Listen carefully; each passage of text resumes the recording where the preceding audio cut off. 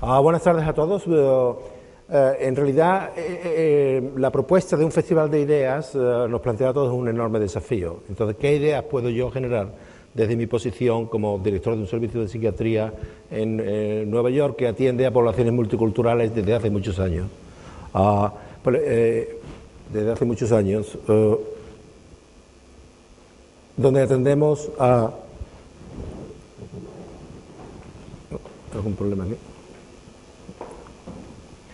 donde atendemos a, eh, gente procedente de cientos, más de 180 países, grupos lingüísticos y grupos étnicos.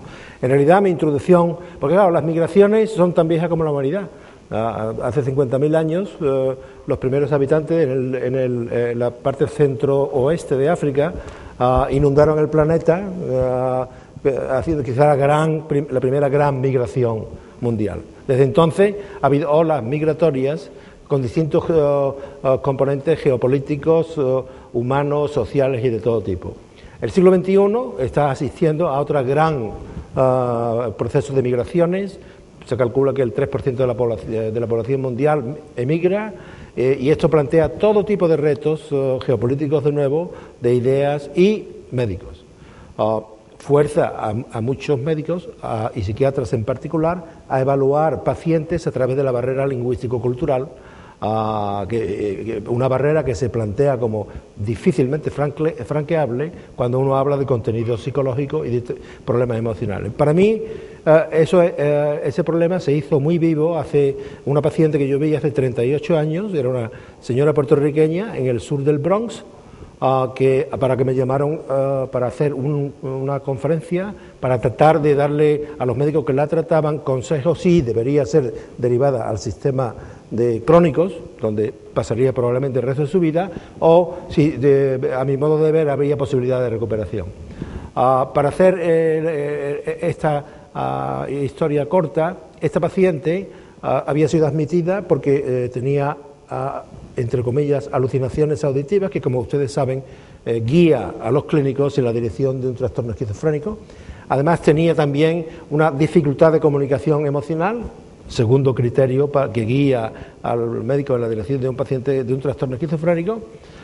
Ah, fue admitida de urgencia en un proceso bastante agitada, ah, le pusieron una inyección de aloperidol a una dosis bastante alta, que es la que se usaba entonces eh, para este tipo de procesos. Por, cuando uno ve a esta paciente, efectivamente ya cumplimenta el tercer criterio para el diagnóstico de esquizofrenia, que es tienen un estado emocional flat, o sea, eh, muy bajo. Ah, claro, y si yo me tomo 50 miligramos de aloperidol o se los administro a ustedes, estoy seguro que también cumplimentarán ese criterio. Ah, el hecho concreto es que, eh, eh, eh, hablando con esta persona, que solo se comunicaba en español, ah, pues me di cuenta que efectivamente esta mujer no tenía un proceso esquizofrénico, sino que tenía un trastorno depresivo causado por un duelo patológico. No, no, había aparecido en la historia clínica porque fue entrevistada siempre por angloparlantes y ella no hablaba inglés y el médico no hablaba español. No había aparecido en la historia el dato clave de que había perdido a su hijo en, un, en una refriega relacionada con las drogas, había muerto, él no estaba envuelto en el proceso de droga, pero estaba por allí, murió y entonces posteriormente al proceso del duelo, unos meses después, puesto que ella dependía absolutamente de ese hijo, su estado eh, físico y mental se deterioró considerablemente. Yo me gustaría que ustedes pudieran asistir a esta mujer cuando se abrió el proceso de duelo y empezó a llorar a pesar de la barrera de los 50 miligramos de loperidol, empezó a llorar desconsoladamente, completó su proceso de duelo y nosotros pudimos demostrar que eh, las alucinaciones auditivas en el contexto de culturas muy afectivas, como son las culturas hispánicas, oír la voz de que le llama a uno de un hijo que ha muerto en esa circunstancia no es indicativo de esquizofrénica, sino de trastorno, trastorno depresivo. Aquello eh, me abrió las puertas a toda una dimensión del eh, y desde entonces he asistido a innumerables conferencias clínicas donde se me han presentado casos similares y en el 80% de los casos eh, acaban en una ah, reevaluación del proceso de diagnóstico, aquella enferma no solo no fue al hospital de crónicos, sino que cinco días más tarde estaba en la unidad tejiendo preciosos manteles y eh, donde formaba un grupo con las otras pacientes, o era una persona de un vigor y de una capacidad inusual. Ah, el segundo caso, que ya cerró mi compromiso, fue eh, un paciente, este, en este caso chino, que fue entrevistado con un traductor de origen chino, miembro de la misma comunidad desde la que se originaba el paciente. ¿Qué pasa? Entonces, eh, el médico, que en este caso era yo, le pregunta al, traductor, pregúntele usted si eh, tiene ideas de suicidio. Entonces el paciente, bueno, por supuesto esto se transcribió ¿no? en una cinta, Ah, eh, el paciente habla cinco minutos y le cuenta con todo lujo de detalle una serie de cosas que a mí, naturalmente, eh, me, me, parecían chinos y eran chinos. Entonces, al final me dice el traductor, dice que no. Después de eh, leyendo el transcript, la transcripción de esa, el, enfermo había entrado en toda clase de matices respecto a cuando pensaba en suicidarse, cómo lo había pensado, por qué no lo había pensado, pero quizás no, es una cosa que no debería hacer porque los dioses se pondrían en contra de él. había dado una explicación y al final me había dicho, dice que no. O sea que la fiabilidad, incluso en personal entrenado, de la traducción a través de la barrera lingüística cultural es muy complicada. Entonces, ¿qué, pasa, eh, ¿qué ideas necesitamos para el siglo XXI? Necesitamos un nuevo modelo de inmigración. Todavía en los Estados Unidos, aunque en retroceso, vivimos del llamado melting pot. ¿no? Sabemos que las culturas se mezclan y se van a mezclar, pero se mezclan en condiciones geopolíticas distintas que se mezclaban anteriormente. Las mezclas del siglo XIX y XX eran mezclas de dominio. Había una cultura Ah, que se consideraba superior, que absorbía los contenidos culturales, ah, mejor dicho, que inhibía los contenidos culturales autónomos de esa otra cultura, el llamado melting pot, crisol de cultura. Ya ese modelo no nos sirve porque nadie quiere eh, derretirse en el crisol de las culturas, sino todos queremos preservar evolutivamente, por supuesto, abierto a toda clase de cambios, pero queremos preservar las raíces fundamentales de nuestra cultura. Ah, eso planteará problemas geopolíticos, como por ejemplo el diálogo, vamos hacia conflictos culturales como el profesor Huntington mantiene de la Universidad de Harvard ah, en relación con la relación entre los Estados Unidos y México. Ah, debemos poner barreras implacables o vamos hacia una alianza de civilizaciones y si es así, ¿cómo? Este, diálogo continuará durante. Necesitará muchas más ideas para resolverse en una dirección y otra y probablemente se resolverá dialécticamente tomando un poco de aquí y un poco. En algún caso habrá eh, choques culturales, en la mayoría de los casos. Yo soy optimista, espero que al final del siglo tengamos un modelo de cómo esta integración entre humanos va a ocurrir. ¿no? Al mismo, bien, entonces, eh, lo, mismo, la cultura, por tanto, importa no solo a nivel geopolítico, sino a nivel médico. Ah, complican el diálogo médico-paciente al crear barreras lingüístico-culturales importantes, como ya les he ilustrado con los dos casos. Por cierto, la solución en este caso son las ideas científicas y las investigaciones, entre las cuales mi departamento ha tenido algún cierto protagonismo, ah, de ayudar a los clínicos y a los médicos a interpretar ah, de una manera certera a lo que aparece oscuro por las diferencias culturales. Entonces, en realidad acabaremos en una medicina personalizada, no solo genéticamente, sino también culturalmente. Es decir, porque la cultura es un escalón más en el proceso de significaciones que los seres humanos usan para manejar sus vidas. Pero nadie es idéntico a su cultura. Entonces, la cultura no debe ser el último paso, debe ser, de hecho, una manera más de acercarnos al individuo y conocerlo. Eh, eh, afortunadamente lo podremos hacer a nivel genético, a nivel cultural y a nivel social. ¿Qué es la cultura? Esa es la gran pregunta del siglo. Hay 280 definiciones de la cultura. una, bastante práctica que nosotros usamos es esta: un sistema, un sistema compartido de valores, creencias y patrones de comportamiento que, son la manera que tiene el organismo de manejar a través de símbolos ah, ah, las circunstancias de la vida, ah, crear una identidad, vivir afirmativamente, reproducirse y morirse. Entonces, la, cultura no equivale, aunque se ha confundido mucho con raza o etnicidad, no equivale. Estas, estas tienen un contenido teórica o realmente biológico que la cultura misma no lo tiene. ¿no? Hay que pensar que siempre es un sistema dinámico, que está en evolución. O, sea, usted ve a un paciente hispano y no hay un paciente hispano. Hay un ecuatoriano, una dominicana, un español, lo que quiera que sea. Y que, tienen, o sea, dentro de cada subgrupo cultural hay una enorme diversidad. Ah, y esa diversidad es una riqueza evolutiva de la humanidad que, todo, que debemos aprender. Este es otro gran reto para el siglo XXI, cómo eh, hacemos una taxonomía de estas ideas para poderlas utilizar para mejorar ah, la situación de los seres humanos en nuestro planeta. Bien, el, fondo de la cuestión es las culturas tienen que ver con significado. ¿no? En este sentido me acuerdo de una anécdota, voy a beber un poquito de agua, perdón. o sea, la vida humana es eh, eh, eh, por encima de lo biológico está lo que significan las cosas, los significados que le damos a lo que nos ocurre. Entonces hay un, oh, pastor protestante que invita al rabino de su iglesia vecina a ir a una pelea donde peleaba un oh, luchador hispano, un boxeador hispano con otro, oh, que no era hispano, sino que era judío. Lo invita, van allí, entonces el boxeador hispano se presigna el rabino le pregunta, oiga usted, ¿y eso qué significa? Y dice, pues no significa mucho eh, si no sabe boxear. Bien. Ah, entonces, eh, eh, son los significados. Y este, esto lo significa claramente. Dice aquí, bueno, el, marido probablemente está protestando de la dificultad de entender este cuadro y le dice a la mujer, bueno, si lo pensamos bien, ¿cuál es el significado de ti? Qué significas tú, ¿no? Es decir, todos los significados están en la mente del significante. Ah, por tanto, cuando uno aborda un fenómeno cultural hay que entenderlo en el contexto en que ese fenómeno cultural se produce y no en el contexto en que nosotros producimos un fenómeno cultural similar.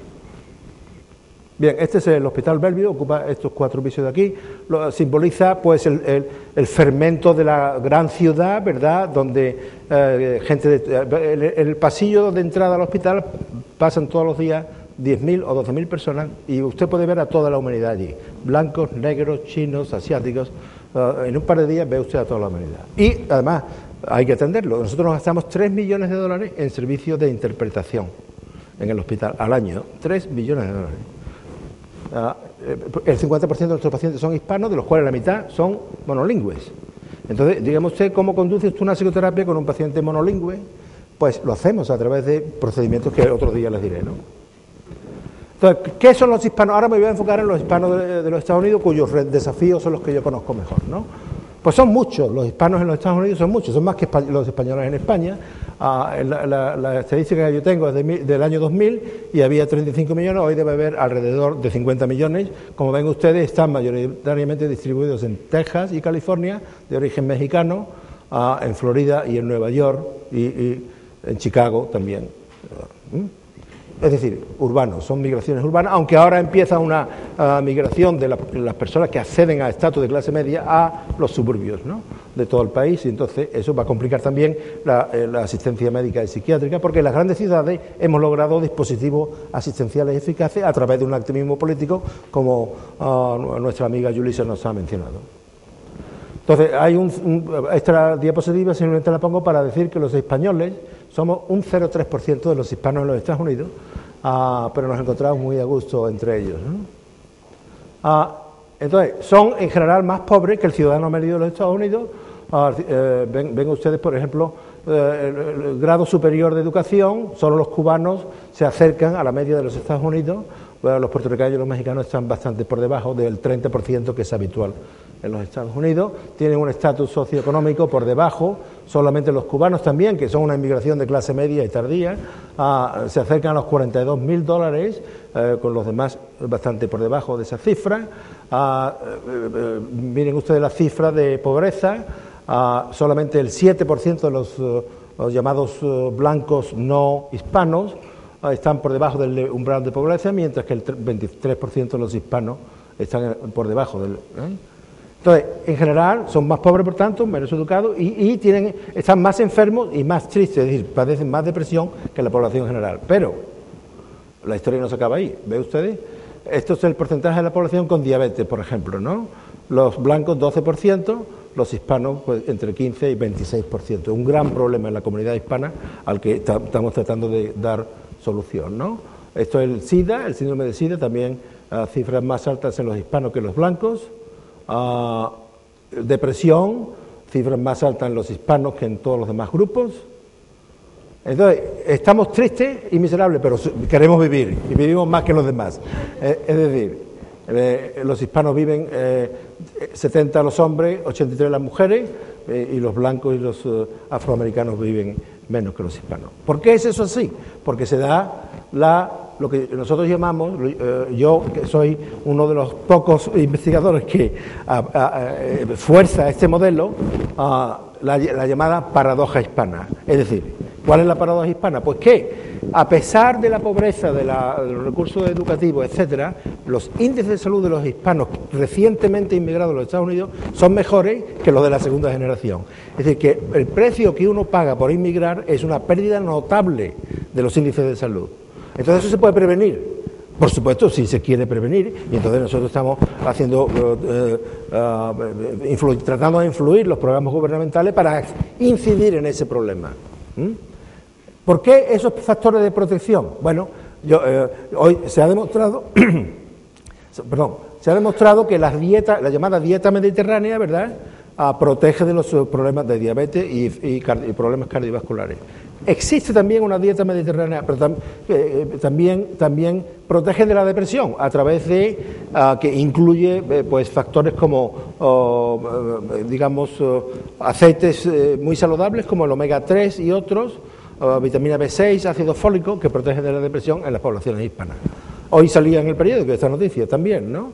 Yo creo además que hay una dieta mediterránea emocional que protege a la gente, le voy a decir cuál es y me gustaría eh, eh, promoverla, ¿no?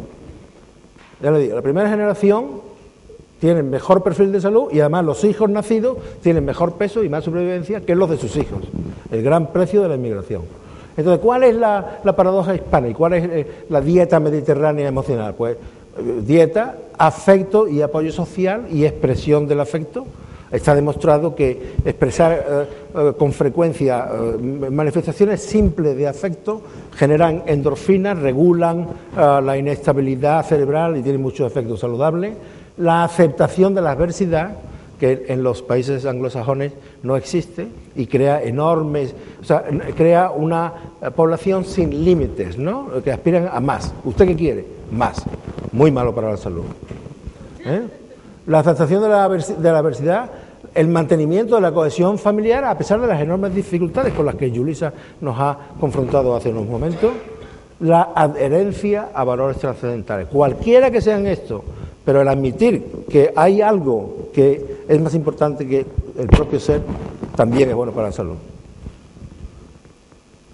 Ah, entonces, bien, entonces, además de todo esto, ¿qué, ¿qué se puede hacer concretamente para mejorar el, siglo XXI nos va a, confrontar a todos que eh, tenemos que adquirir competencia cultural, no solo clínicamente, sino geopolíticamente. Cuando los, gobiernos se relacionan con los inmigrantes, ah, el proceso político tormentoso tiene que realizarse con otros parámetros y postulados que los que se aplican en eh, comunidades homogéneas, porque hay que aceptar la diversidad y, y crear mecanismos de integración nuevos, ¿no?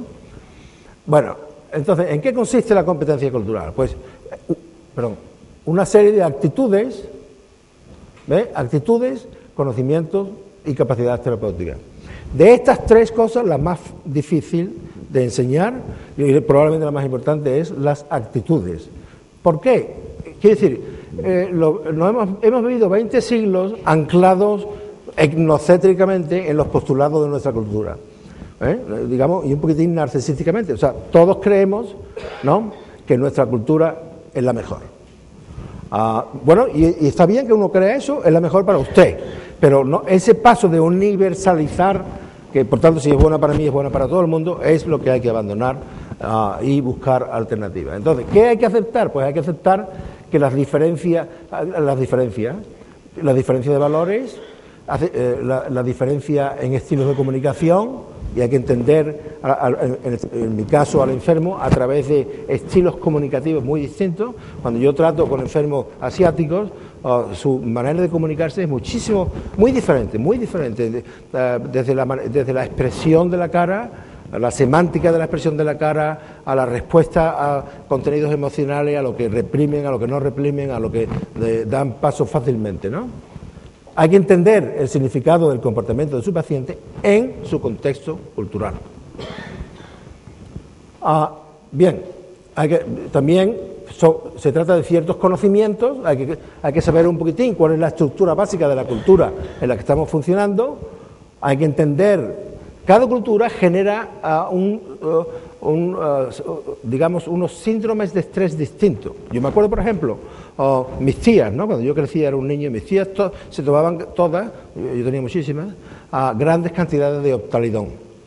¿Por qué? Pues, pues probablemente, probablemente para, con síndromes depresivos modestos, ¿verdad?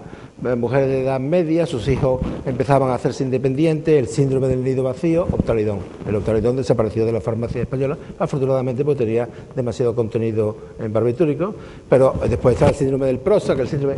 Cada grupo social y grupo étnico tiene una manera de expresar ah, síntomas todavía no constituidos en enfermedades clásicas, ¿no? Hay que entenderlos, hay que entenderlos, hay que entender que cuando, eh, eh, digamos, muchas poblaciones expresan somáticamente síndromes depresivos y hay que tratarlos, no decir, ah, señora, usted no tiene nada, o señor, usted no tiene nada. La palabra usted no tiene nada debe de, eh, erradicarse del vocabulario de los médicos. Hay que conocer los recursos formales e informales que cada comunidad usa para ayudar a sus miembros. Por ejemplo, el 60 o el 70% de los enfermos hispanos en la ciudad de Nueva York consultan a espiritistas, antes que al psiquiatra, por supuesto, y ah, usan, y los chinos también, cantidades enormes de hierbas con eh, potencial medicinal que alteran gravemente el metabolismo de las medicinas que le administra el médico. Si uno no sabe qué está tomando ese paciente, pues está usted eh, navegando a ciegas. Entonces, ¿cuál es, el, conflicto de civilizaciones entre los anglos y los hispanos? Pues hay que volverse a los griegos y con esto termino. Los griegos entendieron que hay dos maneras de enfrentarse a la vida. Bueno, hay muchas más, pero en fin, se pueden reducir a dos, como los diez mandamientos. ¿no?